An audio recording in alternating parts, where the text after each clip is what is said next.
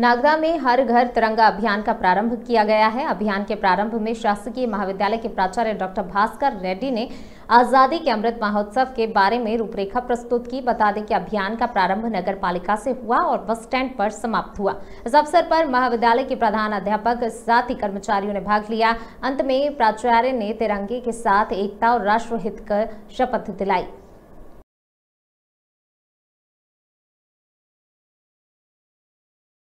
आज महाविद्यालय के एनएसएस और एनसीसी और स्पोर्ट्स और समस्त प्रकार के विभागों द्वारा भारत शासन और मध्य शासन के निर्देश अनुसार के परिपालन में एक तिरंगा, घर घर तिरंगा का कार्यक्रम का संचालित किया जा रहा है।